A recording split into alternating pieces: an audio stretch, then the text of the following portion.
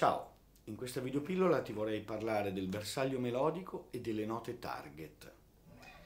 Allora, il bersaglio melodico lo intendo come la risoluzione di una frase, premesso che dal punto di vista grammaticale, diciamo, di un fraseggio, possiamo pensare a una frase eh, costituita da tre momenti, un approccio, uno sviluppo e una risoluzione.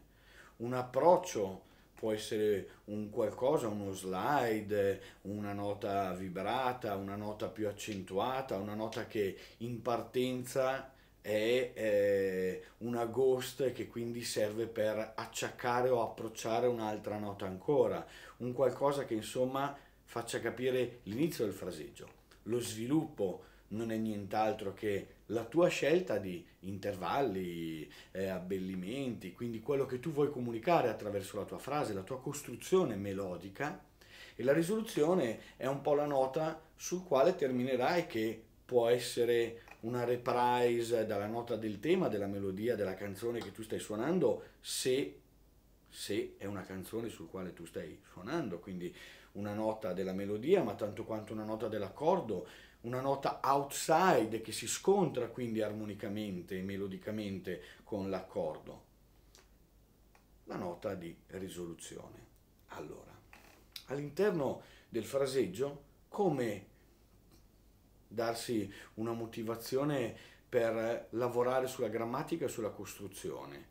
Beh, il bersaglio melodico vuol dire prendere in considerazione eh, la nota sul quale si finisce e in questo caso io prendo a considerazione le toniche dell'accordo, l'esempio te lo farò con un 2-5-1 in Do maggiore, quindi gli accordi sono Re minore 7, Sol 7, Do major 7. Questi sono i tre accordi interessati. Quindi la nota bersaglio sarà la tonica Re, Sol e Do. Le note target sono eh, in questo caso sono anche dette guide note, cioè note guida come target, quindi come nota bersaglio, cercheremo di arrivare alla tonica passando nel nostro fraseggio attraverso le note guida, i toni guida, che in questo caso sono il terzo e il settimo grado di ogni accordo. Quindi per l'accordo di Re saranno le note Fa terzo grado e Do settimo grado, per l'accordo di Sol saranno eh, il Si terzo grado e il Fa settimo grado e per il Do saranno il Mi terzo grado e il Si settimo grado. Quindi si comincia a costruire appunto il fraseggio dando una certa disciplina. Io adesso come sempre vado a registrare eh, un loop con il 251 eh, e poi ti faccio qualche esempio improvvisazione.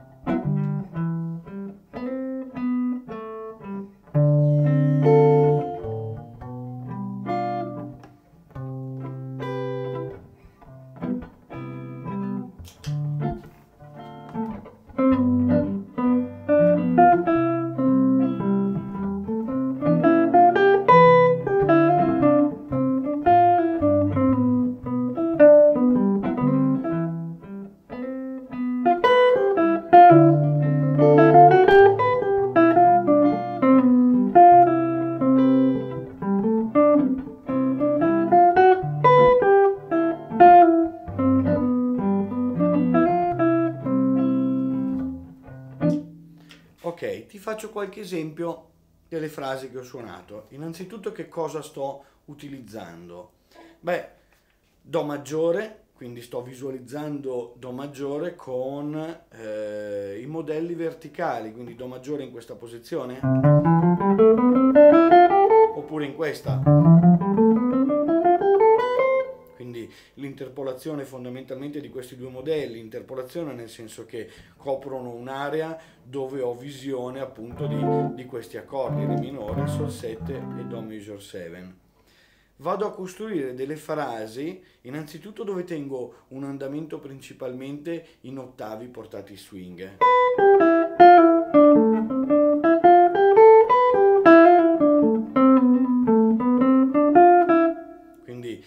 Inframezzo con qualche terzina, ma questo è il tipo di portamento.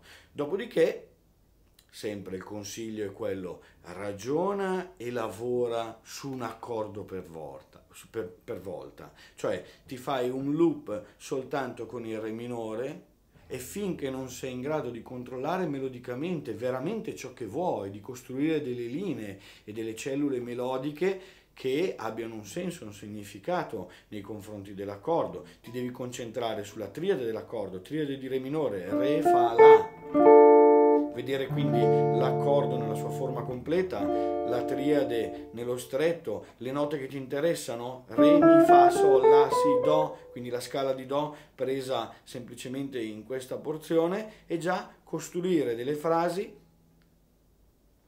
dove le ultime, l'ultima nota sia ad esempio o il Fa o il Do. Ti consiglio il Fa per chiudere a Re e il Do per muoverti verso il Si, terzo grado di Sol. Quindi interessante usare il Fa come guid note, terzo grado, per sensibilizzare melodicamente la tonica il Re e il Do settimo grado per uscire dall'accordo di Re minore 7 e andare verso l'accordo di Sol 7.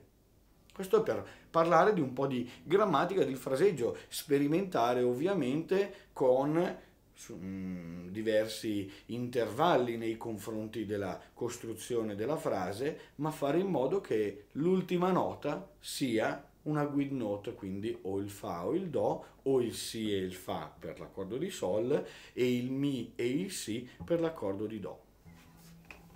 Se ti è piaciuta questa videopillola, condividila con i tuoi amici, metti un like alla pagina La chitarra jazz per tutti se non l'hai ancora fatto e come sempre buona musica. Ciao ciao!